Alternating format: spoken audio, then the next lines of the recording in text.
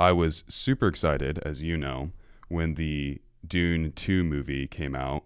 I saw it twice, as you know, in theaters, and I was disappointed to say the least, unfortunately, because I'm a fan of the series. I'm a fan of the novels, right? And so when I see certain characters portrayed in certain ways that weren't up to my perceptions or my imagination of those characters, it it's personal for me. You know, I was gonna say it actually was a good movie. Tell me why you're so, so disappointed. so I will I, I will be totally candid. They're they're good movies. If you're watching them as their own stories, they're good movies. My issue with it is it wasn't my story. It wasn't it wasn't the Dune that I read. It wasn't the Dune that I had built in my mind. And I think that really portrays the importance of writing. So I was sitting there, and for our audience who doesn't know, I have ADHD. So I'm sitting there with my ADHD brain and just ripping into this when I should be working on literally anything else. But I'm just sitting there with my thoughts, right?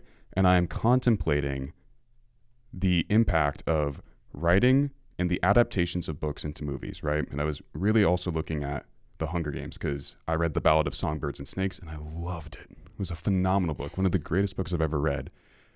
And the movie didn't. The movie was a great movie, but it didn't live up to the the movie was not power. the book. It was not the book. Why is that? Why do we get so disappointed when adaptations don't fit our mm. reality? So I was thinking through this, and it really occurred to me that when you when you write, when someone writes a book, they're writing an idea. They're portraying an idea, an image, a character, a picture, imagination. When you read that writing, you're not actually reading. You are writing in your mind an interpretation of that person's mental image, right? So I can read Dune, and you can read Dune, and it could say Paul Atreides is a young, skinny 15 year old male with curly black hair. And you and I could envision two completely different looking individuals. Yeah, two totally different characters in our mind. Exactly, because we wrote out different ideas based on the prompt given to us. So when you read a book, you're actually writing ideas in your mind and writing things into your imagination. When you watch a movie, you are reading someone else's adaptation. You're hmm. reading what someone else wrote in their you're, mind. You're now visualizing someone else's imagination or exactly. what they wrote and imprinted in their imagination. Exactly. You are reading someone else's thought writing, mm-hmm. so to mm-hmm. speak, and you are thereby losing your ability to write your own imagination, to write your own thoughts, to build your own Dune. So, for all the people who haven't read the Dune novels, every single one of you enjoyed those the, the, the Dune movies. Right. I liked it. I didn't read the book. Exactly. I was like, cool you've movie. Never, you have never read it. You enjoyed it, as you should. They're great movies. They're great stories on their own. But for those of us who have written our sure. own thoughts about Dune, it is a completely different experience. Mm-hmm. And I think that really encapsulates the importance of writing. That's a really good point. What I hear you saying is the nobody can capture your thoughts, your mind, your imagination, and your unique contribution. So, for those who don't know, uh, Dune sets is set in on other planets, and so what I hear you saying is everybody who's read the Dune novels has created other galaxies in their mind, and then yeah. when when you re- watch these movies, your transport is like being in Star Trek. You're like, wait a minute, that that it, this isn't what the planet looks like. These aren't what the characters look like because you have created your own worlds in your mind, and that's really what writing is. Is mm-hmm. you're creating your own worlds in your mind. You're you're creating your own ability to contribute to conversations, to contribute to really to humanity, mm-hmm. ideas and concepts and stories and life and memories and experiences that really can shape people's minds and um, ideas and how we interact and how we learn and what happens as a, as a collective society. But if you don't contribute, then we lose your particular individual contribution and nobody can make your individual unique contribution. That's what you're saying, right? Right. That's exactly what I'm saying. And I would just to kind of outline for our audience my thinking and thought process here because some people might say, "Well, you're you're just reading someone else's book. You're not actually writing anything. So let's look at writing as the grandfather. Writing is you coming up with the original source, and you are the you're the origin, you're the founder and the starter of that source.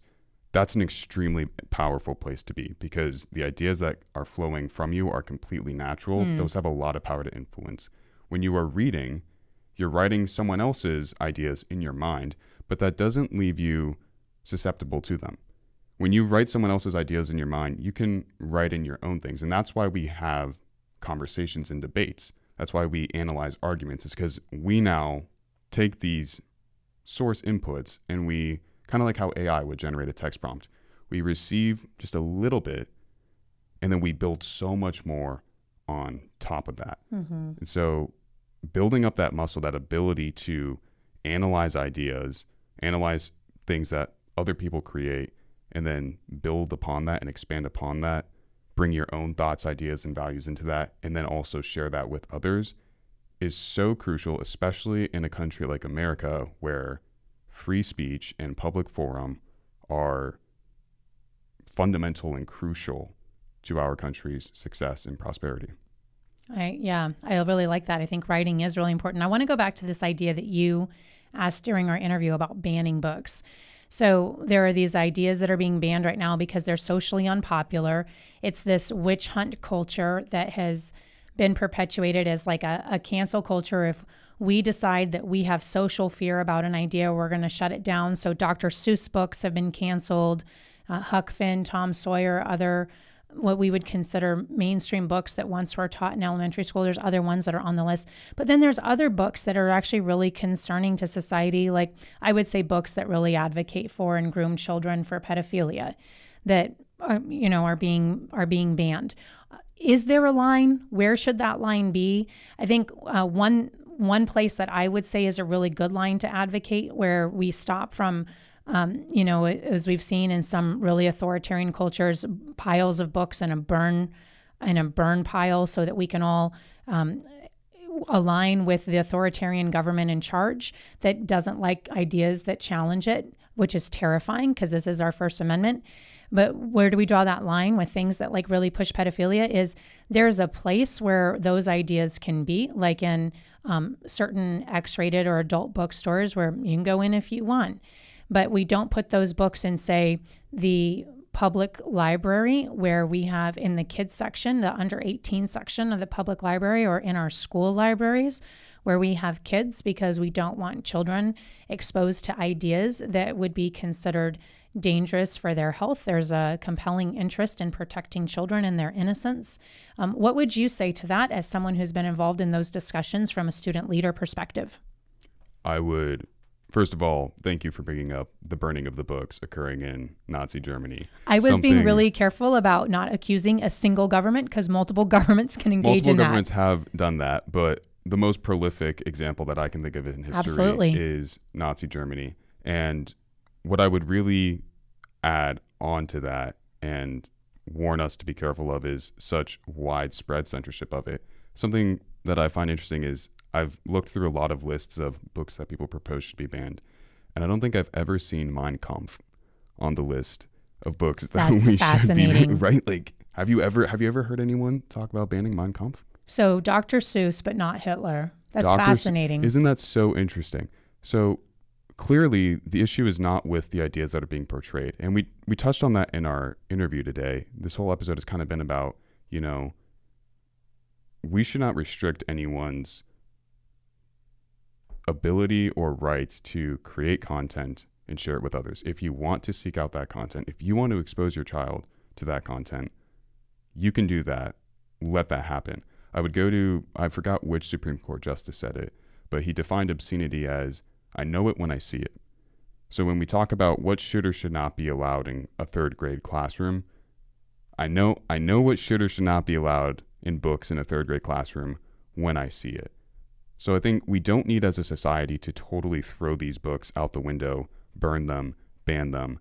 We also don't need to allow just anything to be accessible to anyone. There's certain content that absolutely should be restricted to only people who are willingly, intentionally seeking that knowledge. you know, it's a really good point. We do this with movies. exactly. Movies have certain ratings. you can't come see this if you're under 18. Right. Nor nor do you have the authority to just access it like at on um, pay per view at home. You have to put in codes and stuff in order Mm-hmm. to access certain rated movies. It's a good point.